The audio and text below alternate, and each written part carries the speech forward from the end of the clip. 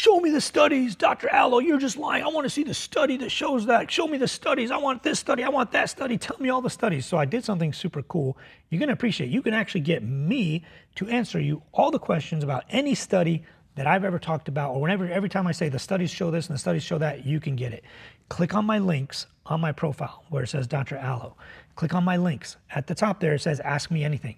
This is a chat bot that I have designed just for you guys with all of the cardiovascular studies. You can literally go in there and say, hey, when Dr. Alo says you can eat a, a, a, piece of bacon and it'll raise your cholesterol, show me the study. Dr. Alo says that olive oil does this. Dr. Alo says seed oils are, are, are, okay and healthy and cardioprotective. Dr. Alo says that blah, blah, blah. Dr. Alo says that uh, cholesterol is harmful. Dr. Alo says this, or you can even ask it personal questions. Hey, I'm 42. I have a calcium score of 38.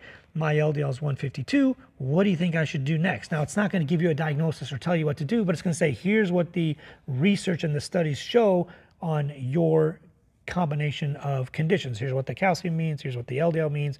Here's what whatever. Another question you might ask is, hey, design a exercise program for me. Dr. Al is always talking about exercise, always talking about nutrition. What is the best exercise or nutrition program for someone like me? I'm 54 years old. It will do that for you. I did this for you.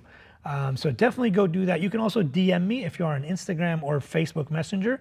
You can DM me and ask me all those same questions, and I will answer them for you. Super cool. Go try it out.